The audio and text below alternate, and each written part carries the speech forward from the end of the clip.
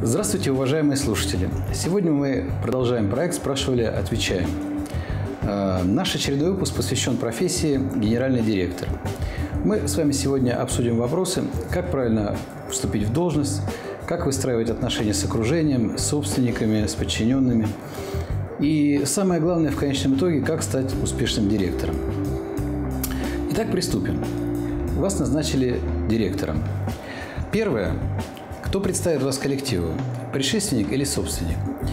А, от этого зависит, как воспримет вас человек как нового руководителя. Второе – это ваша трудная речь. Она должна вселить уверенность в коллектив, что никаких резких изменений в работе не произойдет, и отныне все находится в ваших надежных руках. Третье – необходимо уведомить о вашем назначении а, государственные органы, банки а, и ваших любимых партнеров – Четвертое. Необходимо составить подробный акт приема передачи дел при смене директора, куда следует включить все, начиная с перечня активов, основные документы, печати и даже ключи от вашего будущего кабинета. Пятое. Э, первые дни работы я рекомендую вам проверить э, следующие важные документы. Это устав, учредительный договор, бухгалтерскую отчетность, состояние клиентской базы и так далее. Возможно, у вас появятся вопросы к предшественнику. И тогда в первые же дни он э, сможет вам дать э, пояснение, что у него было не так. И последнее. Обязательно введите в действие, если это еще не было сделано до вас, основные регламенты. Такие как положение об учетной политике, э, договорной работе, бюджетировании, оплате труда и так далее. Это позволит вам э, упорядочить всю будущую работу в компанию и одновременно э, своевременно и строго спрашивать подчиненных выполнение их основных обязанностей. Следующий вопрос. Что нужно знать директору о финансах, маркетинге, продажах, э, бухучете и так далее для грамотного управления своими непосредственными подчиненными и функциональными заместителями? Понятно, что э, структура предприятия бывает достаточно сложным, но тем не менее, как правило, можно выделить отдельные направления, которыми руководят ваши функциональные заместители. Таких э, заместителей может быть до 12 различных направлений. Э, тем не менее, вы всех этих э, подчиненных должны уметь контролировать, ставить им задачи и спрашивать их исполнение. Ну, рассмотрим пример э, взаимоотношений директора и главного бухгалтера.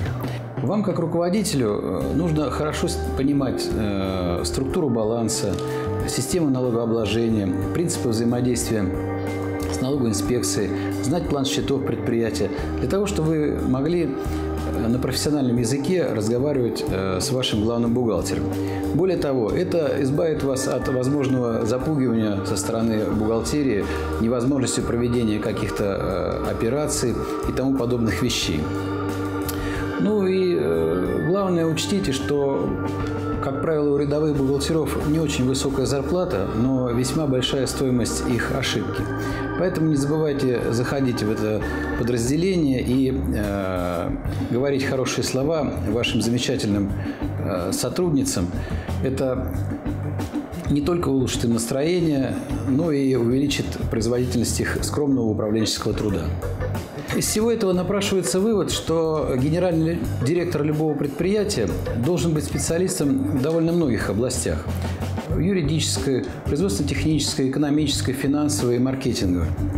Ну и в то же время он должен обладать э, глубокими знаниями и навыками в области психологии и менеджмента. Потому что без знания психологии э, вам трудно будет управлять коллективом компании. Я советую сразу после вступления в должность проанализировать возможность возникновения следующих рисков. Э, это прежде всего риски утраты основных активов, неисполнение обязательств э, контрагентами, это имеется в виду дебиторская и кредиторская задолженность, э, судебное оспаривание наиболее крупных сделок компании, выполнение предписаний государственных органов, э, своевременности расчета с персоналом, с бюджетом и так далее. Если все эти обязательства э, выполняются, то э, советую вам обратить внимание на делегирование ответственности как на часть личной безопасности. Для этого необходимо часть ответственности разделить с своими непосредственными подчиненными и заместителями. Например, технический директор руководит деятельностью технической службы и несет ответственность за исправность оборудования, за технику безопасности, за пожарную безопасность и так далее. Главный бухгалтер отвечает в компании за достоверность бухгалтерского учета, организует внутренний контроль использования материальных и финансовых ресурсов предприятия. Далее э, советую вам использовать делегирование ответственности как э, элемент э, личной безопасности. То есть вы можете часть своей ответственности поделить со своими непосредственными подчиненными и заместителями. Ну так, например, главный инженер, э, руководя деятельностью технической службы, может по вашему э, приказу или распоряжению нести ответственность за исправность оборудования, за технику безопасности, за пожарную безопасность и так далее. Э, на главного бухгалтера вы, естественно, возложите ответственность за достоверность бухгалтерского учета, за организацию внутреннего контроля использования материальных и финансовых ресурсов предприятия кадровик или э, директор по персоналу э, безусловно, э, будет нести вместе с вами ответственность за выполнение Трудового кодекса. При этом вы можете поручить ему подписывать э, приказы на прием, увольнение, отпуск, трудовые договора. Э, соответственно, э, его ответственность, она будет уже э, заложена в тех документах, которые он подписывает. Ну и самое главное, все договора, которые вы будете подписывать, э, старайтесь э, предварительно визировать у непосредственно исполнителя, его начальника, бухгалтера, финансиста и вашего юриста. Тогда э, при каких-то ситуациях, когда эти договора будут исполняться не так, как хотелось бы, ответственность за их выполнение будет поделена между всеми подписантами. Далее мы перейдем с вами к простым э, способам контроля над риском возглавляемой э, вами организации. Безусловно, любой бизнес связан э, с теми или иными, как говорят, производственно-хозяйственными рисками. И хотя риск – это благородное дело, как говорит народная поговорка, но попробуем все же подстраховаться. Есть довольно простые способы контроля за э, текущими рисками в организации и в первую очередь рисками исполнения или неисполнения э, тех или иных важных поручений, обязательств или э, каких-то э, других вопросов, которые необходимо выполнить к определенному сроку и которые вы поручаете своим подчиненным. Для этого я вам рекомендую завести контрольный журнал исполнения ваших поручений у вашего секретаря или помощника с тем, чтобы э, вы как бы в суете, в текучке э, не забыли, а ваш помощник поможет вам напомнить, вовремя спросить с ваших э, подчиненных, заместителей те вопросы, которые вы им поручили накануне. Также я бы рекомендовал ввести приказом график совещаний по э, основным оперативным вопросам, на которые бы ежедневно или еженедельно э, ваши подчиненные или заместители приходили э, со своими профильными докладами, и вы узнавали бы из первых рук регулярно текущую обстановку как на предприятии, так и за его пределами. Ну и э, одновременно следует, э, наверное, установить перечень внутренней управленческой отчетности для ответственных лиц, которая к вам поступала, может быть, по электронной почте, и вы могли бы ознакомливаться с текущей ситуацией, как говорится, в режиме онлайн. Ну, например, что я имею в виду? Допустим, э, ваш финансист или там заместитель по экономике может вполне ежедневно вам докладывать о состоянии кредиторской дебиторской задолженности. В то же время э, на него следует возложить контроль э, за своевременностью исполнения таких обязательных платежей, как уплата налогов, выплата заработной платы, погашение кредитов и других каких-то важных обязательств. Ну и самое главное, э, ваш заместитель по экономике или финансовый директор должен составлять бюджет и следить за своевременной отчетностью по его выполнению всеми подразделениями предприятия. Такими простыми средствами, такими, в общем-то, известными инструментами вы сможете осуществлять вполне Э, достаточный и комплексный контроль за работой э, всего предприятия и отдельных его сотрудников. Ну и в итоге э, можно сказать, что подобная методика наверняка исключит случаи вашей несвоевременной реакции на внешние и внутренние угрозы для возглавляемой вами компании. Следующий вопрос, который наверняка Э, будет волновать каждого руководителя, это когда к директору могут быть предъявлены взысканию убытки компании. И каковы критерии неразумного или недобросовестного э, поведения руководителя? Ну, прежде всего, надо сказать, что не надо забывать о том, э, что директор – это не полновластный хозяин компании, а наемный работник, выполняющий определенные обязанности. Проверить вашу работу как руководителя имеет право ревизионная комиссия, назначенный куратор из числа членов совета директоров, служба собственной безопасности и так далее. А, и самое главное, по результатам этой проверки а, на сегодняшний день вполне можно а, по действующему законодательству взыскать убытки с директора, если он действовал некомпетентно или только ради собственной выгоды. Рассмотрим, в каких случаях это может произойти. Ну, первое, я уже сказал, если директор действовал только ради своей выгоды и игнорировал э, интересы предприятия. Например, производил выплаты работникам э, предприятия с нарушением э, внутренних документов, предоставлял им материальные блага за счет компании, которые не предусмотрены трудовым или коллективным договором, э, выводил из компании деньги или имущество без одобрения собственника, или из-за бездействия руководителя компания не получила полагающиеся ей средства или имущество.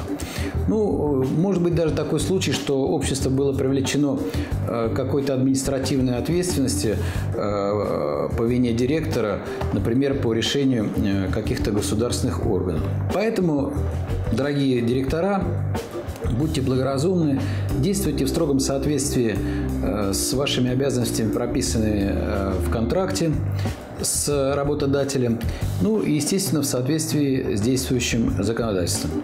И тогда, я надеюсь, э, подобные неприятности вас обойдут стороной. Конечно, директор э, не может в одиночку выполнять всю работу в компанию, поэтому следующий вопрос – как выполнять всю работу чужими руками и э, такая своеобразная концепция «ленивый директор». Ну, в первую очередь, чтобы э, быть настоящим руководителем, на мой взгляд, надо грамотно уметь делать э, ну, хотя бы три вещи. Первое – это ставить цели. Второе – организовывать людей для достижения этих целей. И э, третье э, – своевременно корректировать генеральную линию с учетом текущих изменений ситуации. Ну и самое главное, не забывать, что выполнение поставленных задач происходит э, со значительной временной задержкой между тем, когда вы даете поручение, и тогда, когда вы получаете результат по его исполнению. Я бы э, в качестве примера э, привел э, такой рабочий день, как я бы сказал по концепции ленивого директора, поскольку смысл этой концепции заключается в том, что искусство руководителя – это не искусство решения задач как таковых, а это прежде всего искусство их постановки. Поэтому в первую очередь, когда вы приходите на работу, вам нужно решить вопросы по постановке задач своим подчиненным с тем, чтобы вы уже по завершении рабочего дня или какого-то другого периода получили э, внятные, грамотные э, отчеты об их исполнении. В первую очередь вы знакомитесь с текущей ситуацией в компании, просматриваете почту, ставите задачу своим э, непосредственным подчиненным и заместителям, и одновременно на утреннем оперативном совещании ваши коллеги докладывают текущую ситуацию, ну, например, финансовый директор докладывает текущее финансовое положение компании. В первой половине дня вы э, самостоятельно выполняете только те задачи, которые невозможно или нежелательно делегировать коллегам, отвечаете на электронные письма, сообщения, ну, далее, как обычно, традиционный обед. Во второй половине дня э, вы начинаете принимать отчеты о проделанной работе. Проводите одно или два серьезных совещания по каким-то важным, перспективным э, стратегическим вопросам. Встречайтесь с партнерами. Э, ну и, наконец, в завершении рабочего дня, э, наконец-то, ваши коллеги докладывают об успешном выполнении поставленных утром задач. Вы смотрите эти отчеты или в электронном виде, или они докладывают вам лично, подписываете документы, которые накопились за год, которые требуют вашей непосредственной резолюции. И таким образом э, большая часть работы выполнена за день, выполнена с вашей подачи вашими подчиненными. Ну и какие-то особо важные и нужные для вас вопросы вы сделали сами. Таким образом, вы нигде не попадаете в цейтнот и, э, с другой стороны, э, вполне успешно контролируете ситуацию в компании. Восьмой вопрос. Э, как объединить персонал компании в единое целое? Потому что рецепт успеха – это в первую очередь ваша сплоченная команда. Доктор Ицхак Колденон Адизис утверждает, что идеальный руководитель, способный одинаково хорошо справляться со всеми видами разнообразной управленческой деятельности, это миф, причем миф вредный, поскольку он препятствует проявлению реальных управленческих талантов, которым обладают менеджеры. Думаю, что рецепт успеха любого э, предприятия – это в первую очередь сплоченная команда. Из своего многолетнего опыта скажу, что все зависит не только от уровня профессиональной подготовки директора и его коллег, но и от того, как складываются взаимоотношения между ними. Важно, как распределяются их обязанности, совместно ли вырабатываются управленческие решения, находят ли они единые подходы к анализу и оценке э, деятельности предприятия или тех или иных э, ситуаций. Чтобы объединить персонал компании в единое целое, э, ну, в первую очередь необходимо отношение э, взаимного доверия и уважения, как, собственно, и положено людям э, высокой квалификации, должной культуры и воспитания. В таком случае каждый знает цену друг другу, поддерживает инициативу и любые действия, оказывает содействие и помощь. Ну, в таких условиях предприятие работает спокойно и уверенно, с высоким, как говорят, коэффициентом полезного действия. Желаю вам, уважаемые господа, легкой и слаженной работы во главе сплоченной команды профессионалов. Это и есть главный секрет успеха генерального директора. На этом наш выпуск подошел к концу. Спрашивайте, отвечаем.